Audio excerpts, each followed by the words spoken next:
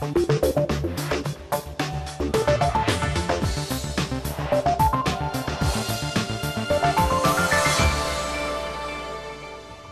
and welcome to the programme. I'm Nima Abazari and we're at the marina in the Emirate of Ras Al Khaimah, which is at the centre of a tussle between two of the world's richest men to host one of the world's most prestigious sporting events.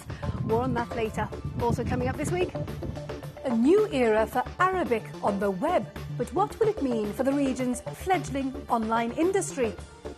Privatisation, Iran style, is the Revolutionary Guard taking over?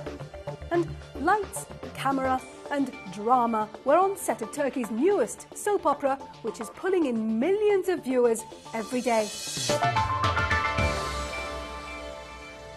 There's been a buzz in the air here in Ras Al Khaimah since the summer, which is when the winners of the America's Cup chose this emirate as the venue for their next race. And preparations are well underway at this resort to host it. Behind me, you see a seven star hotel which will be open soon.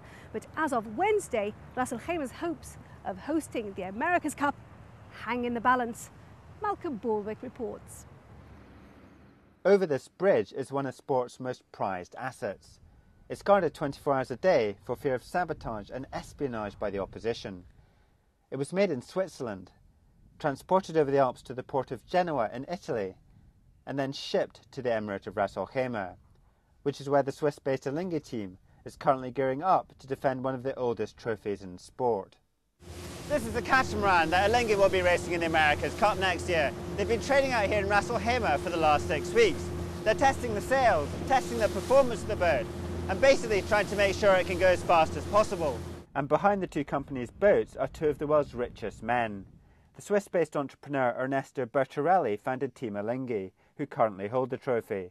And the challenger BMW Oracle is backed by this man, Larry Ellison, founder of the software giant Oracle. The build-up to the race in February next year has been far from plain sailing for Team Alinghi.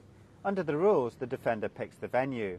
But BMW Oracle has successfully challenged Alinghi's choice of Ras and the court has ruled in favour of holding the event in Valencia, Spain.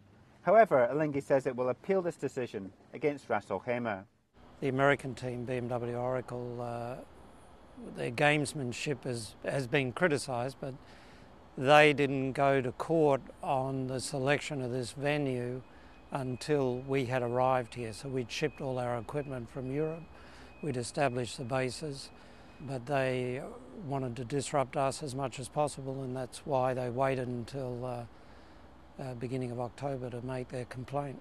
BMW Oracle was not available for interview, but they said that they welcomed the decision to hold the event in Valencia and told the BBC that they hoped Alinghi would now drop their appeal. One of the main fears cited by BMW Oracle in court was Ras Al Khaimah's close proximity to Iran and the risk of a terrorist attack if the event was held in the Emirate. So is it a safe place to hold the race? It is first of all 83 kilometers from, uh, from Iran and all the race needs 40 kilometers. Second, between here and Iran, uh, there are daily more than 40% of the world oil which is crossing the Strait of Hormuz and there is no problem. And there is no state of war today between the UAE and, uh, and Iran. And uh, UAE has been always a peaceful country and a friendly country. And Ras Al Khaimah is not independent, is not an independent state, is part of the UAE. Ras Al Khaimah was chosen to host the event because of its stable weather and sailing conditions. It's one of the most scenic emirates with its vast mountain range, mango swamps and flocks of flamingos. And it's keen to diversify its economy into tourism and hosting sporting events like the America's Cup. Simon Meese runs a golf course at Al Hamra village, which is the resort that Alinghi has selected to host the event. Like many here, he says the America's Cup would raise the profile of this lesser known emirate. No one really knows Ras Al Khaimah on the world map. It would provide Ras Al Khaimah a fantastic opportunity to, to come out of the shadow of Dubai, Abu Dhabi. You know, they have the, the, the horse race, um, the Grand Prix now, just held last weekend. Khaimah and Alinghi have invested tens of millions of dollars in preparing this venue for the America's Cup. The harbour has been dredged deeper, canals have been widened, and contractors are working hard to finish the seven-star hotel in time for the event. But although Alinghi set up camp here six weeks ago, the other side of the island, which has been set aside for BMW Oracle, lies empty, and for the moment, it looks unlikely that Alinghi's challenger will join them here. Malcolm Borthwick reporting. Internet penetration in the Middle East is low. It's thought that three quarters of the population never go online. Now, part of the problem is that the Latin script is used for so called domain name extensions like .com. But as of next week, the company in charge of assigning domain names will start registering them in Arabic. Jeremy Howell has been finding out how this will affect internet businesses here. Typical teenagers, locked in battle in their online Warcraft games at E-Zone in Dubai. In fact, they're a Middle East elite. It's estimated only 25% of the population here ever goes online. That impedes the development of online computer games and many other internet businesses, which in other parts of the world now yield hundreds of millions of dollars in revenue. Part of the problem may be the language barrier. ICANN, the company which assigns internet domain names, does not accept extensions for website addresses like .com or .org in anything but Latin script. So, in practice, Arabic language websites tend to have their whole address in Latin script. This is the Arabic language website of the BBC. To get to the site, you have to type in the address in English. Let's try doing it in Arabic.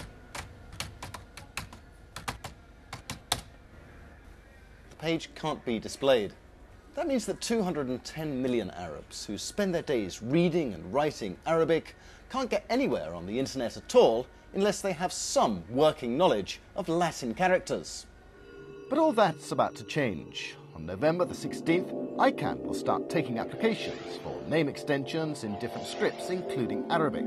By mid 2010, companies and people will be able to register domain names written entirely in their native scripts. The change is coming at the right time for Souq.com, an e commerce marketplace which is currently expanding from its base in Dubai to other parts of the Arab world where people are less familiar with the Latin script. There are a lot of users who today uh, don't know Latin characters, and we've seen again and again that uh, native language uh, websites do very well locally, and a lot of users like to use their native language on their platform, especially in the Arab world. So the easier it is for the user to get on the website, the simpler it's going to get for us to expand the service to this user base. F1 in Dubai is a fashionable haunt for net surfers. What do they think of the upcoming change? I'm using already in English. I'm using the internet since now eight years. The main purpose is that to get your site, whether it will be in Arabic or English, okay. It makes no difference at all. Arabic is the main language for us, but it will be very wonderful. I would like, I would like to create like this website, by the Arabic website. Uh, in Arabic is better than French or English or any other language because this is my mother tongue. I honestly prefer everything to be in Arabic. It's easier for me and my fellow people. But the script change contains pitfalls for multinational companies. They're being warned to act fast to protect their future Arabic domains against cyber squatters. Companies in the region should be considering whether they've got sufficient Arab language trademark protection in place um, having an English language trademark does not necessarily give you automatic protection over the Arabic transliteration of your mark. That's important in case um, you need to take action to recover a domain name. If you don't have the Arabic language trademark protection in place, then you may be required to go to the domain name holder and negotiate for thousands of dollars to recover the domain name. Internet penetration is relatively low in the Middle East, but it's risen tenfold in the past 10 years, spawning a variety of Arabic websites like Maktoob's electronic marriage agency, which has 1.5 million subscribers. The change to Arabic domain names could add another spurt to business.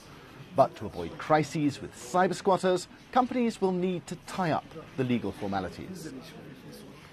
Jeremy Howell reporting there.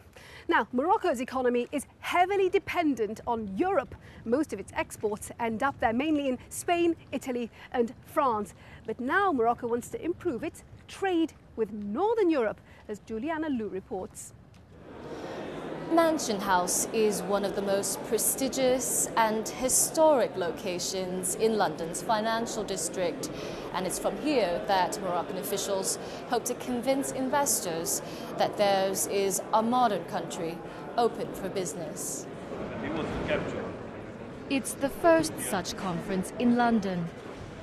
We in Morocco are very aware of these challenges. The Moroccan ambassador to Britain, who is also a princess in the royal house, called for both sides to increase trade and investment. I think that in the past we have been too focused on, on French, on France and Spain, and it's time today that we broaden, you know, the base of our partners. And I believe that the UK is well positioned. I believe that the UK has this tradition of relocating, of outsourcing, and so it can be a good partner of ours. With an economy growing at more than 5%, Morocco hopes to become a base for multinationals to do business in North Africa. There is an opportunity for um, you know, for Morocco to be a bit of a hub for financial services and other industries. So that's why I'm, I am genuinely excited about the opportunities for British companies. The country recently announced a solar energy project worth $9 billion, which will require significant foreign investment. It's an integrated and ambitious program that will help Morocco produce electricity for its own, but also to export electricity, especially to Europe, since Morocco has a very uh, interesting geostrategic situation at the crossroad of energy routes. One of the richest countries in North Africa, Morocco is still plagued by unemployment. Its rulers want to modernize the economy, and they're counting on engaging the West to do so. Juliana Liu reporting there. Coming up after the break, how Turkish soap operas are taking the Middle East by storm. We meet the cast of the country's latest hit.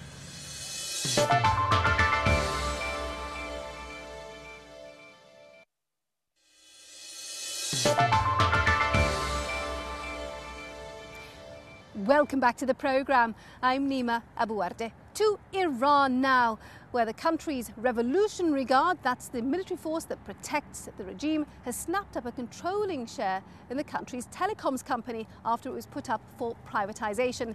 Many of Iran's business community now fear that the Revolutionary Guard are becoming too influential. The Revolutionary Guard earned notoriety for their heavy handed suppression of protests following the re election of President Ahmadinejad in June this year. But besides its security role, it has built up a multi billion dollar business empire with interests ranging from oil and gas field development to construction.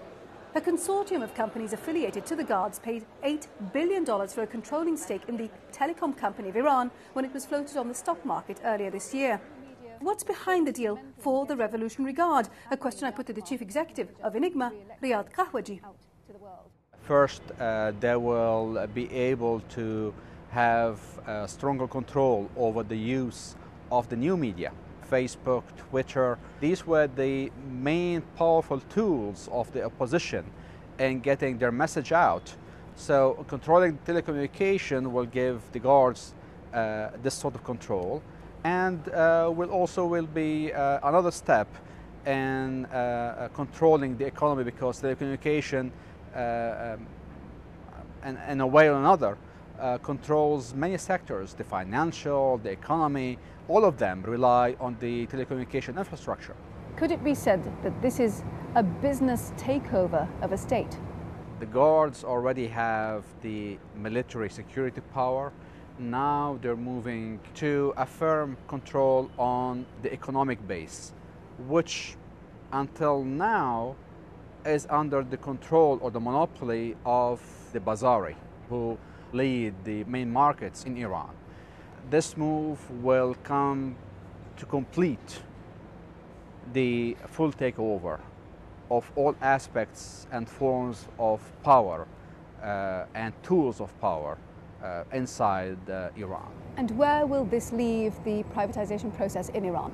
If you have uh, investors from outside who are seeking to take part in the economy of, inside Iran, benefiting from the so-called privatization, uh, they will not be encouraged uh, to come in and compete against the guards. Uh, and therefore, this will discourage many or great deal of the uh, foreign direct investment uh, um, and drive them away from the country. Riyad Kahwaji of INEGMA speaking to me earlier. To Lebanon now, and the country finally has a government five months after the general elections. The incoming Prime Minister Saad Hariri has formed the government of national unity. But will it be any more successful at solving Lebanon's economic problems than the last one? Lebanon sidestepped the global recession and its economy has been growing steadily over the past year. But the national debt now totals about $50 billion, and the country is struggling to privatise its state owned assets. So, can the new government do any better than the last? Prime Minister Saad al Hariri now is coming in fresh, and I think he will try and approach that from a different um, uh, point of view, in my opinion. I think he will not be approaching it from the same point of view like Prime Minister uh, Siniora uh, did, where he tried to impose a solution for privatization on the opposition party, and he failed to do so. Elias Bou Saab, Executive Vice President of the American University in Dubai, speaking there. Right, let's take a look at some other business headlines in the region this week. Dubai developer Nakheel is offering investors on its stalled Palm Jebel Ali project alternative homes at other developments. This move has cast further doubts on the future of the man-made island development and has been criticised by investors who expected to move into their new homes last year. ExxonMobil and Royal Dutch Shell have won the right to develop Iraq's giant West Qurna oil field. It's the first oil deal by a US-led consortium in Iraq in more than 30 years. It's expected that a number of recent similar deals could boost the country's oil supply from just 2 million barrels a day to more than 10 million within the next 10 years. Construction has begun on a light rail project in Riyadh, Saudi Arabia, aimed at cutting congestion in the city. Currently, 90% of the city's 6.5 million residents use cars to commute. The first phase of the project involves a 25 kilometre track and 23 stations. And a busy week on the region's stock markets. Here's a quick look at how they ended the week. And of course, if you have a story for us or want to comment on any of our stories, let us know. Our email address is middleeastbiz at bbc.co.uk.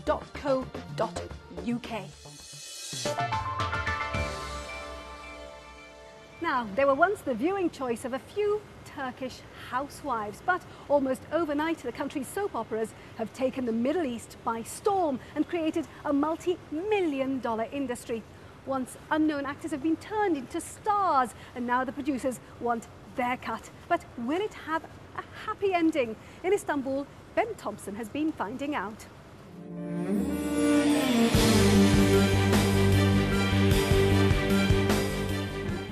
It's called Ask Memnu, or in English, Forbidden Love. And as the name suggests, it has all the drama, angst, and scandal you'd expect from a soap opera. But in a market awash with American imports and big budget dramas, homegrown Turkish TV like this faces some tough competition. And in a crowded market, falling ratings can mean cancelled shows. And that's something the producers of this show know all too well.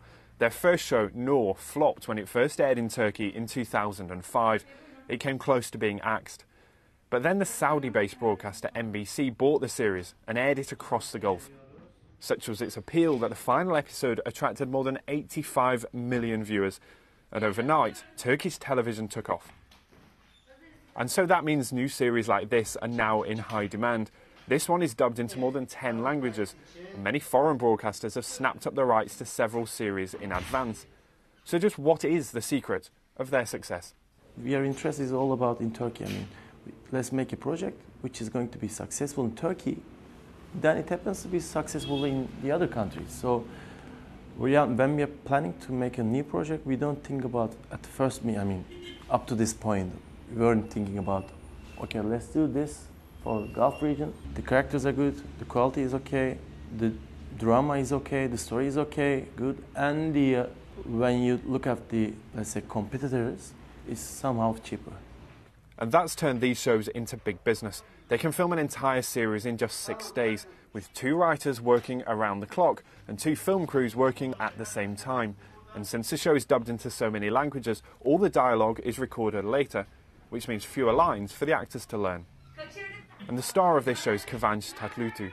His character Behlül has an affair with his uncle's young new wife, and whilst off screen his life might be a little less controversial, the show and his character has made him into a household name. This is only his fourth TV show, but he's already attracting the sort of attention you'd associate more with Hollywood than Istanbul. This is incredible. This is all I can say. This is really incredible. And my agency gave me a call and they was like, Kıvanç, you got an invitation from Dubai. You have big success there and you cannot imagine how much, you know, your success. I said, you're kidding me. And we went there. Finally, I saw the situation, yes. Yeah. Hundreds, thousands was there. And, you know, they're yelling, crying, crazy things. Sometimes it scares me because everybody knows you. You cannot even walk on the street, you cannot even shop, you cannot, you cannot go. No, nothing. So, for the network that commissioned the show, Turkey's Kanal D, the programme's success is very welcome. And thanks to big ad revenues, it's also very lucrative. But if the actors are doing well and the network is doing well, how about the producers?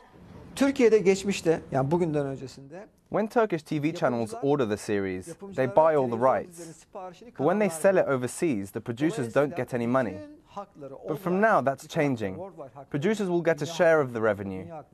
In the past, 80% of producers didn't make any money, but from now they'll start to get their share. And so, back on set, production is going at full pace.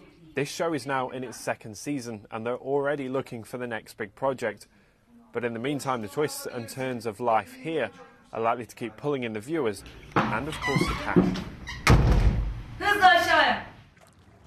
Ben Thompson in Istanbul. Well, that's all the time we have for this week. I do hope you've enjoyed the programme. Next week, we're taking to the skies. Can Dubai's air show inject a much needed boost into the region's aviation industry? Until then, from me, Nima Abazari, and the rest of the team, thank you for watching.